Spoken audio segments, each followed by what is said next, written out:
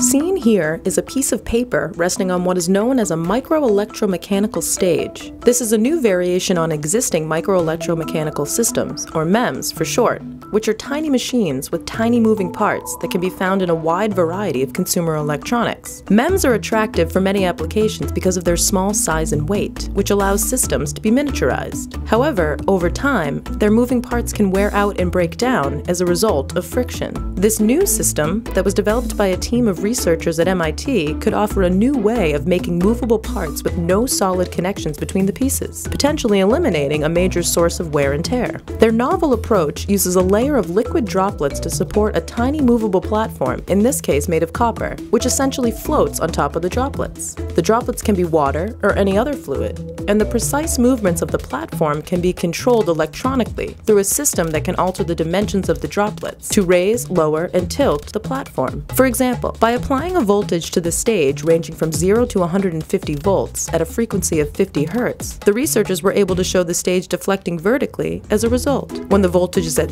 0, the stage moves up. When it's at 150 volts, the stage moves down.